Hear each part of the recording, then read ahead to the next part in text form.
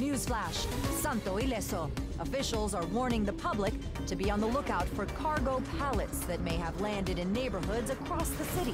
The pallets may contain illegal drugs and were dropped from a cargo plane during a high-altitude chase.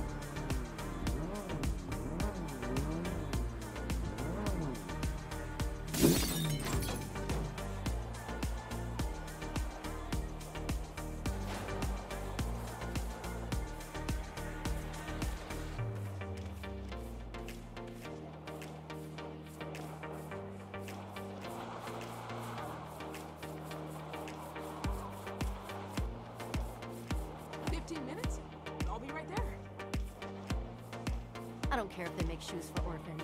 They infringed on our trademark.